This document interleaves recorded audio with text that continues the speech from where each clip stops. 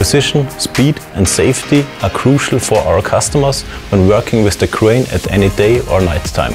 A frequently expressed wish of our customers was to relieve them of repetitive tasks and at the same time increase efficiency. Based on these wishes, the development of the memory position was started.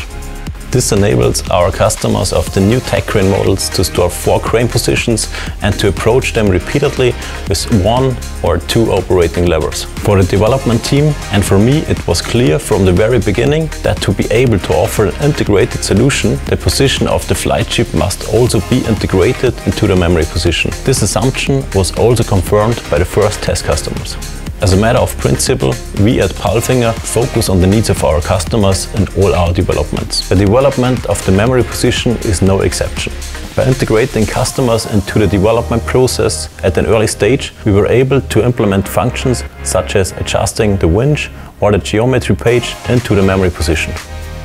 With the memory position, we are taking another step towards efficiency and comfort and I am pleased to be able to make our customers' daily operations more efficient and easier with the memory position.